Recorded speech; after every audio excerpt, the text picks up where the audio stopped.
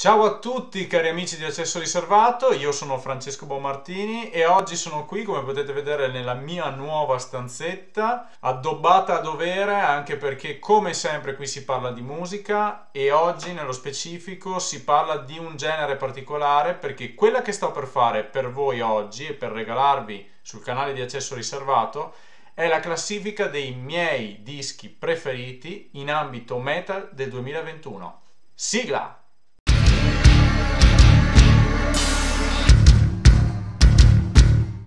Però bisognerebbe mettercene ancora di tu tu tu tu. È così melodica questa sigla, veramente bella. Ah, scusate ragazzi, mi stavate aspettando. Bene, allora eccoci qua. Come avete potuto vedere qui dietro di me, anzi qui, ci sono delle bellissime candele. Non ha niente a che vedere con il satanismo.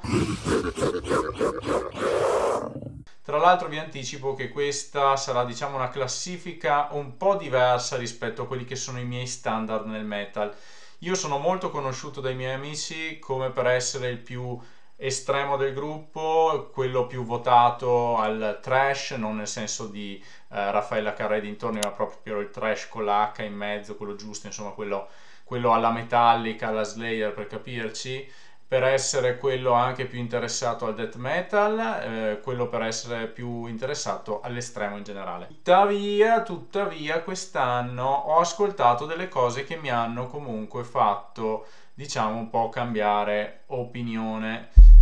Io partirei direttamente con la top 5 e poi vi dico anche tutti i dischi che secondo me comunque vale la pena di ascoltare, che sono usciti tutti esclusivamente nel 2021.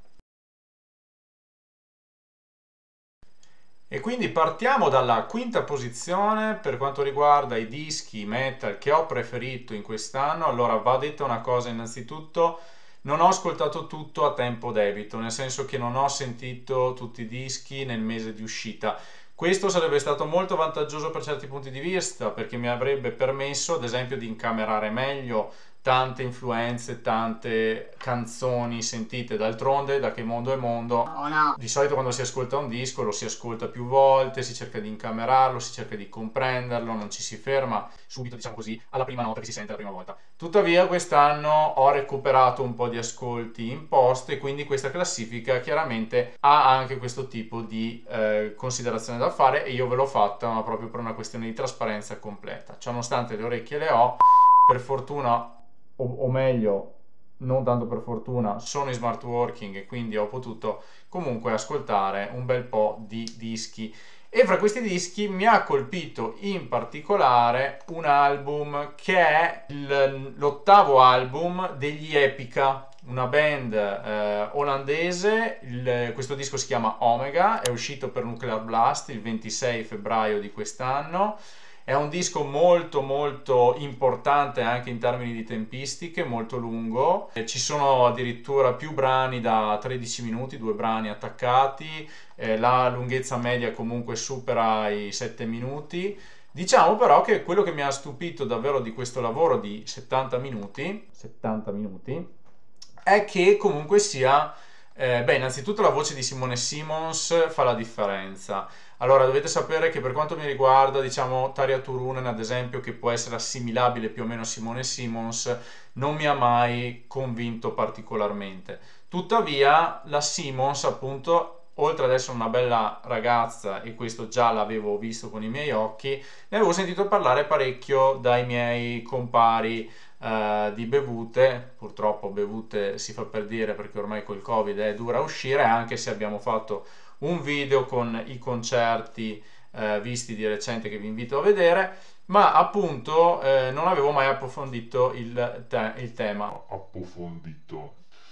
E quindi Simone Simons ve la voglio assolutamente citare all'interno di questo video perché merita, perché il Omega è molto bello anche e soprattutto per merito suo, ma non solo, e non dico questo perché sto per citare la voce death metal di Mark Jansen, che è relativamente interessante, certo, da varietà le canzoni, ma è proprio a livello strumentale anche che funziona il tutto. Ci sono delle chitarre che per certi versi, come riframo, mi hanno ricordato anche certo approccio crossover, diciamo così Comunque tutto riuscito, tutto al posto giusto, molte orchestrazioni, molto orchestrale come tipo di musica. D'altronde eh, i ragazzi, diciamo gli Epica, per questo sono proprio riconoscibili perché eh, inizialmente sono partiti proprio come gruppo symphonic metal, dicevamo olandesi, attivi dal 2002, quindi ormai sono 20 anni di attività. Beh, direi che Omega, pur non essendo molto erudito sul loro passato, nonostante abbia sentito qualcosa,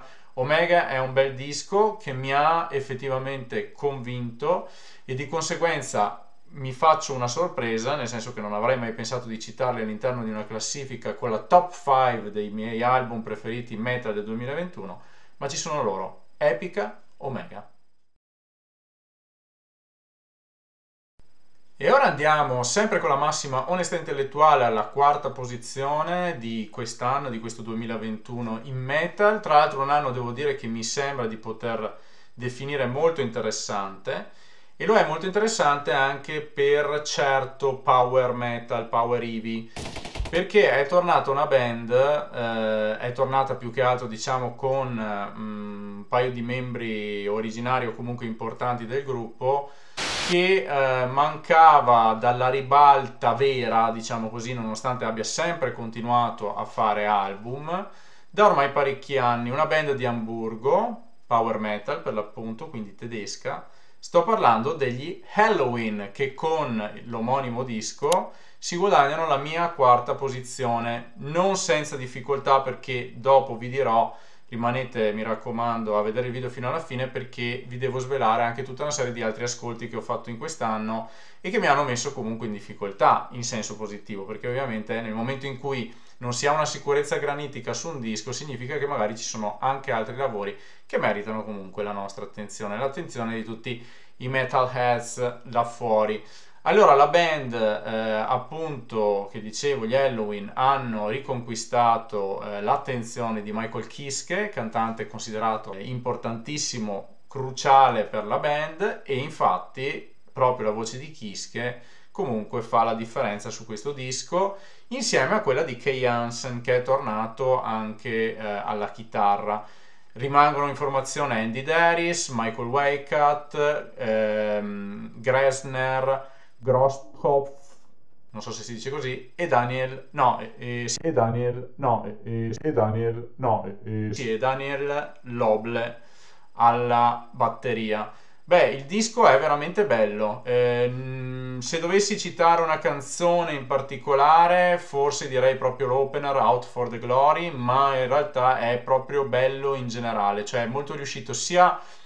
a livello produttivo che a livello proprio di, eh, di classe di arte e di eh, capacità sonora. Tutto appunto eh, sotto la voce molto bella di Kiske, ma è proprio bello il, tutto il lavoro perché sono riusciti fondamentalmente gli Halloween a fare delle belle canzoni che secondo me si faranno anche ricordare. Le devo ancora assimilare totalmente, tuttavia veramente mi ha colpito. È un disco che dura più di un'ora, poco più di un'ora, un'ora e cinque minuti, uscito per Nuclear Blast, che quindi si conferma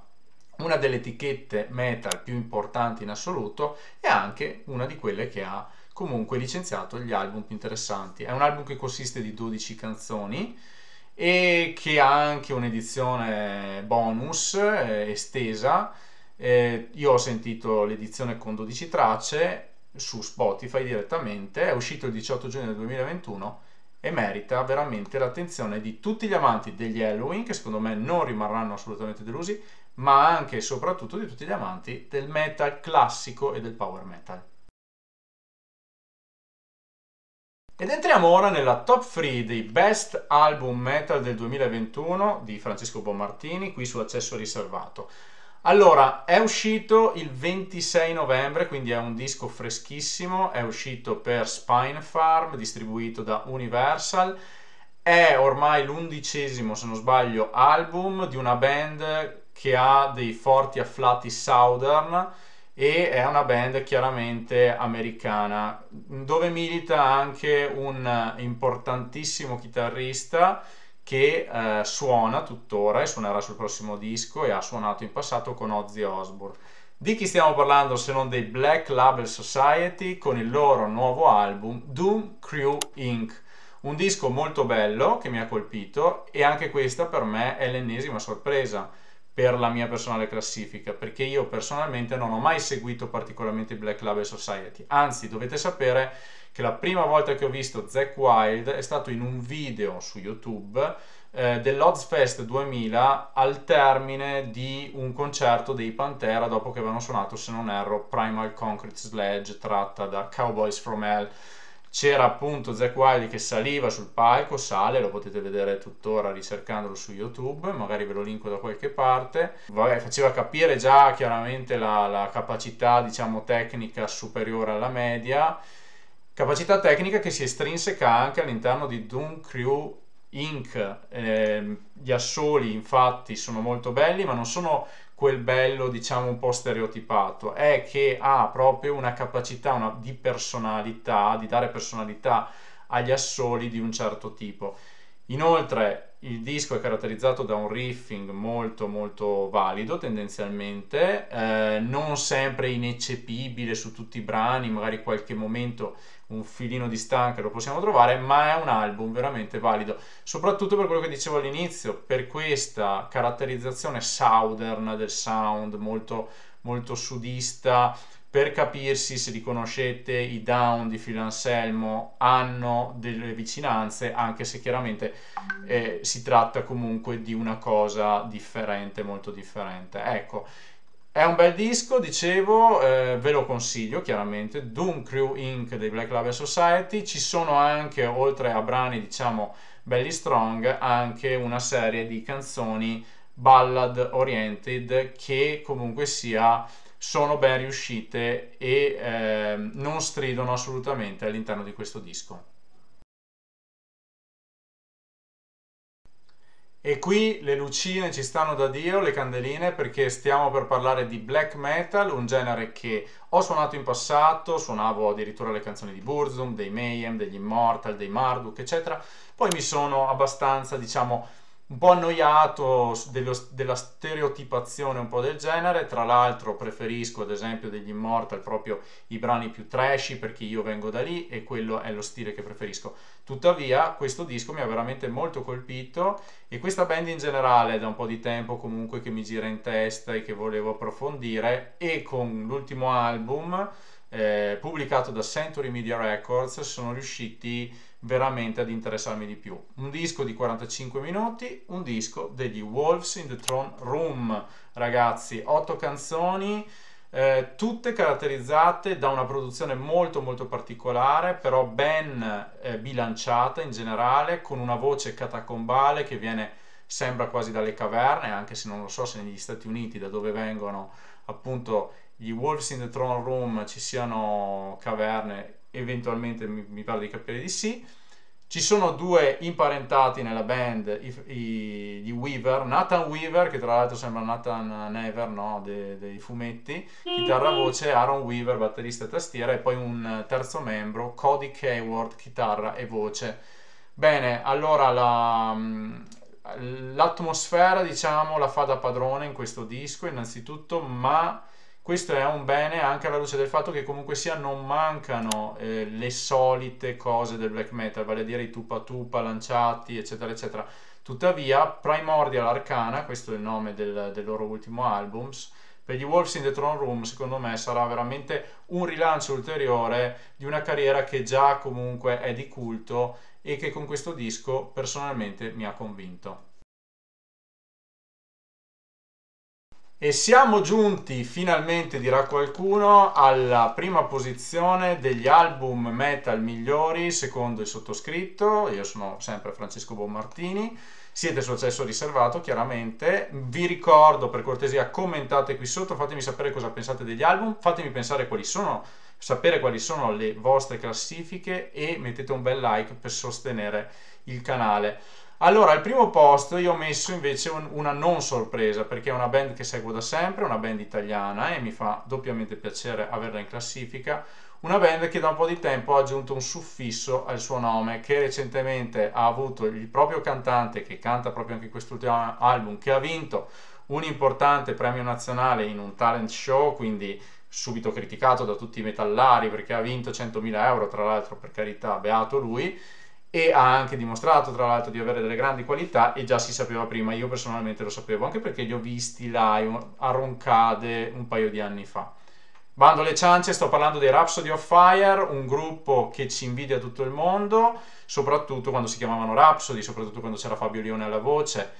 quando c'era Alex Taropoli che c'è ancora in questa band e che continua a guidare insieme a De Michelis eh, chitarrista, eh, il baraccone e con questo Glory for Salvation è riuscito secondo me a fare veramente molto bene. Non solo per la presenza di eh, canzoni di, da sicuro appeal eh, ce ne sono veramente di, di, molto molto valide e anche diciamo c'è il solito la solita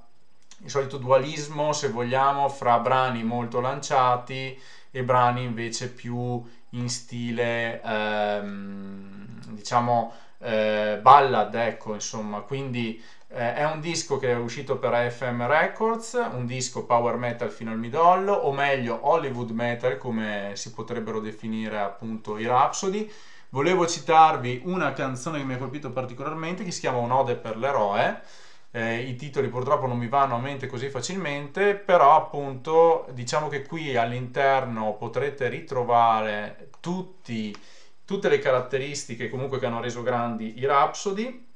compresa la capacità di scrivere delle canzoni che si reggano in piedi senza bisogno di appoggiarsi da nessuna parte. Chiaramente lo stereotipo dei Rhapsody è quello, quindi sapete di che morte morirete, però per me questo è il disco dell'anno. Vi ringrazio ancora per l'attenzione, mi raccomando, iscrivetevi al canale, vi basta poco e per me è molto importante. Sostenetemi con un bel like, lasciate un commento qui sotto e chissà che non ci siano altre classifiche prossimamente o che non ci siano anche dei nuovi format che ci stanno e vi stanno aspettando. Ricordiamoci, siamo una community, mi fa piacere se vi iscrivete, mi fa piacere se commentate e mi fate sapere la vostra e soprattutto eh, anche le critiche positive e costruttive sono sempre benvenute su questo canale. Grazie a tutti e alla prossima.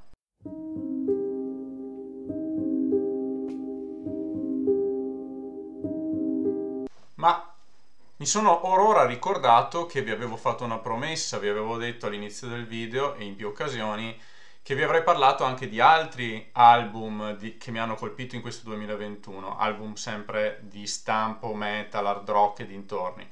E quindi eccomi qua, tornato con voi su Accesso Riservato per svelarvi una serie di dischi che mi sono scritto perché ne ho ascoltati parecchi e vi dico quelli che mi hanno più colpito oltre a quelli che avete appena sentito. Vi invito sempre a commentare qui sotto se li conoscete, se vi sono piaciuti, se li avete ascoltati o li volete ascoltare, se vi ispirano o meno. Facciamo una breve carrellata, ok? Allora, fra i dischi che mi sono segnato, o meglio, fra le band che mi sono segnato, i cui album mi hanno colpito, i cui ultimi album, ci sono gli Evile, eh, con Hell Unleashed, mi pare che si chiami il disco, trash proprio to cure, pesantissimo, bello, bello tosto, mi è molto piaciuto eh, mi ricordavo di loro per Thrasher ma veramente li ho trovati in gran forma. Interessante anche l'ultimo di set black metal eh, particolare. N- niente male anche l'ultimo Dream Theater eh, solo che di questo devo eh, approntare più ascolti perché la musica dei Dream Theater mi richiede un tipo di approfondimento diverso e diciamo che non mi ha colpito da subito proprio in una maniera così tanto importante da essere inserito nella top 5 ma probabilmente sarebbe entrato in una top 10 molto bello anche eh, l'ultimo degli Evanescence eh, è una band che non ho mai eh, troppo come dire calcolato ma eh, un ascoltino all'ultimo disco ve lo consiglio così come totalmente differenti eh, vi consiglio anche di ascoltare gli Amenra con il loro ultimo lavoro, lancinante, eh, pesante, profondo, eh, pieno di pathos, pieno di urla, mh, mm, molto interessante. Molto molto bello anche l'ultimo disco dei Labyrinth, eh, band nostrana, power heavy metal, fatto veramente in una maniera clamorosa, anche questi sarebbero entrati comunque nella mia top 10, così come probabilmente i Black Soul Horde, eh, un gruppo che non conoscevo assolutamente, ho scoperto leggendo i consigli su vari blog, siti, eccetera, eccetera. Fra altri dischi che comunque sono, ho trovato interessanti, ma non avrei inserito diciamo in una top 10, cito anche Torn Arteries dei Carcass, che subito vedendo la copertina non mi aveva particolarmente come dire colpito, nonostante in realtà sia un, qualcosa di interessante. Avevo letto una recensione non positiva, beh, secondo me si sbagliavano perché all'interno di quel disco ci sono veramente dei riff di livello superiore. Bello anche The Existence is Futile dei Cradle of Filth, che so, è un disco Cradle of Filth al 100%, quindi se vi piace la band inglese, vampiresca, con il loro stile assolutamente vale la pena. Molto molto molto interessante e forse anche da top 10, Persona non grata degli Exodus, eh, disco veramente ben riuscito, bel sound, grandi canzoni belli assoli, Gary Holt, insomma è una figata, ok? Se vi piace il trash, l'ultimo Exodus secondo me lo dovete ascoltare. È interessante anche l'ultimo Gojira, mm, anche se eh, diciamo l'ho trovato mm, un po' privo di mordente, almeno come primi o primo ascolto. Bello l'ultimo Soen, eh, interessante, mh, mm, chiaramente senza grandi stravolgimenti, l'ultimo Avalon eh, anche eh, l'ultimo album degli At The Gates, a mio parere, merita, così come vi cito Smith e Kotzen, l'ultimo lavoro, e anche l'ultimo disco di una band veronese eh, di stampo settantiano che si chiama Blind Golem, il loro ultimo lavoro è stato pubblicato da Andromeda Relix, un'etichetta famosa qua a Verona e nel nord Italia per la cura che mette nelle sue produzioni. Direi che Adesso è veramente tutti, tutto. Vi saluto. Alla prossima, mi raccomando, mettete un bel like, iscrivetevi e ci vediamo sempre qui su Accesso Riservato.